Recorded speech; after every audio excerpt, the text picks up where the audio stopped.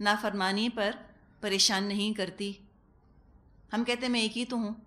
इतने सारे और अमल कर रहे हैं तो मैं एक नहीं कर रही तो क्या नुकसान है? तो बात है कि अल्लाह का तरीक़ा बदलता नहीं। वलन तजिद सुन्नत ही तब्दीला, तहवीला। अल्लाह का तरीक़ा नहीं बदलता और तादाद के हिसाब से फिर फ्लक्चुएशन नहीं होता अल्लाह के फ़ैसलों में। जो लाखों के साथ मामला किया, वो एक के साथ भी वही मामला करेगा। तो सब अपना अपना ज़रा सा हाल देख लें, हुलिया देख लें। फरमाया, अवलम यसीरू फिल अर्दी फ़यंजरू कैफ़ा कान आक़िबतुल्लज़ीन मिन क़ब्लिहिम व कानु अशद्द मिनहुम क़ुव्वा वमा कान अल्लाहु लियुअजिज़हु मिन शैइन फ़िस समावाति वला फिल अर्द इन्नहु कान अलीमन क़दीरा।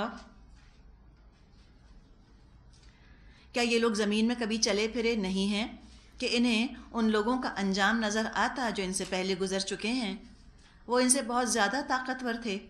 अल्लाह को कोई चीज़ आजिज़ करने वाली नहीं है, ना आसमानों में और ना ज़मीन में। वो सब कुछ जानता है और हर चीज़ पर कुदरत रखता है। तो अरब के अपनी सरजमीन में तबाहशुदा कौमों के आसार मौजूद थे, जो उनकी इबरत के लिए काफ़ी थे। और ये क्या अल्लाह ताला की शान है, अल्लाह की कुदरत कि कोई दुनिया का ख़त्ता, कोई दुनिया का मुल्क ऐसा नहीं जहाँ आसार कदीमा ना पाए जाते हों, खंडरात ना हों रूइंस ना हों, किसी तबाहशुदा आबादी के, किसी डिस्ट्रॉयड सिविलाइजेशन के। कहीं ना कहीं खंडरात मिलते हैं। हमारे यहाँ भी है ना, मोंजेदारो, हरप्पा, टेक्सिला। तो हर जगह ये मिलेंगे। हिंदुस्तान में सुना है कि बहुत सी जगह ऐसी हैं कि जो बिल्कुल वीरान पड़ी हैं और लगता है कि यहाँ बड़ी पहले आबादी थी। वहाँ पे जब वो आर्कियोलॉजिस्ट्स जाते हैं तो बहुत कुछ वहाँ पे वो चीज़ों को निखारते हैं, निकालते हैं और म्यूज़ियम्स के अंदर रखते हैं। तो आप देखिए, चाहे साउथ अमेरिका हो, वहाँ भी कितना आपने सुना होगा। मैक्सिको और ये मुख्तलिफ़ जगह जो हैं यहाँ पे, कितनी पुरानी पुरानी जो हैं वो सिविलाइजेशंस के आसार निकले हैं। तो हर जगह अल्लाह ताला ने इस तरह से इबरत के निशान रख दिए हैं। बशर्त ये कि इबरत की निगाह हो।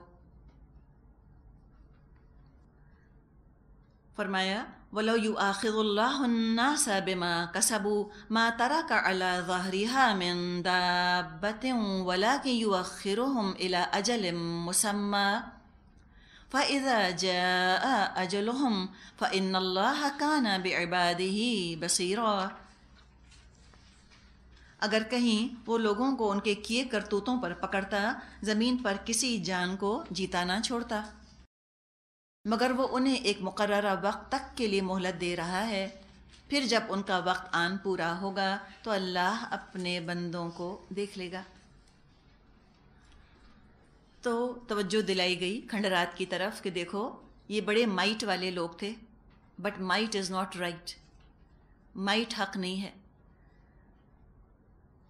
और कोई ये ना सोचे कि तरक्की और प्रोग्रेस इससे आखिरत में निजात मिलेगी। Progress and technology are not tools for salvation इससे निजात नहीं मिलेगी। तरक्की से चक्का चौंध होती हैं हमारी आँखें। हम ये समझते हैं कि हम दुनिया में तरक्की करने के लिए भेजे गए हैं। इसको बुनियादी मकसद समझ लिया है अपनी ज़िंदगी का। और अल्लाह की इबादत तो कोई सानवी या उससे भी निचले दर्जे की कोई चीज़ है। कर लो तो भी, ठीक है, ना करो तो भी। तरक्की ज़रूर करनी है।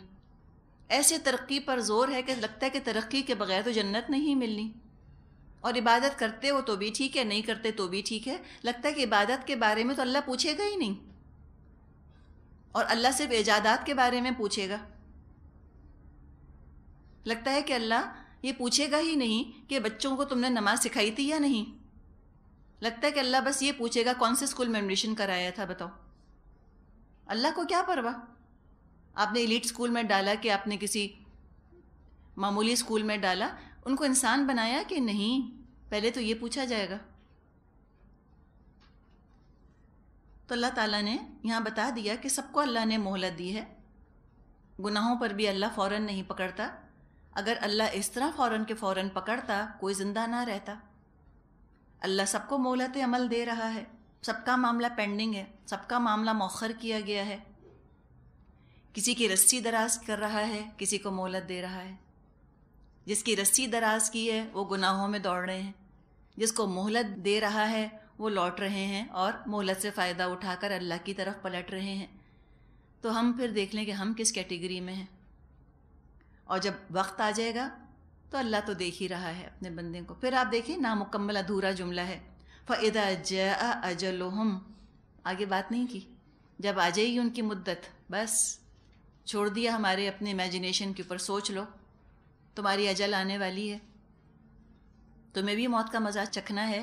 तुमने क्या इंतज़ाम किया है अपनी कब्रों के लिए? कुछ सोचा भी मुस्तबिल के बारे में? वक्त ख़त्म हो रहा है, तेज़ी के साथ जैसे बर्फ़ पिघलती है, ऐसे वक्त घुलता चला जा रहा है। तो तुमने क्या समेटा इसके अंदर? फ़ैज़ा जा अजलहम। तो जब आ जाएगा उनका वक्त, खुद ही सोच लो। तो क्या है? फ़ैन अल्लाह काना बेबाद ही बसीरा। अल्लाह तो देख रहा है अपने बंदों को। कैसे देख रहा है? ऐसे नहीं जैसे कोई तमाशा देखने वाला तमाशा देखता है। ऐसे देख रहा है जैसे कि एक जज देखता है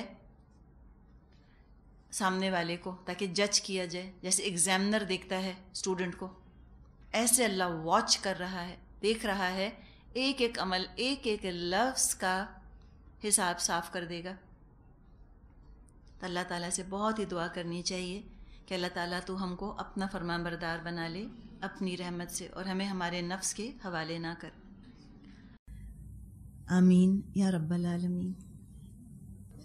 वलाखिर दावाना अनिलहमदिल्ला रब्बिलमीन सुबहानकल्लाहुम्मा व बिहम्दिका नशहदु अल्ला इलाहा इल्ला अंत नस्तगफिरुका व नतूबु इलैक। अस्सलाम वालेकुम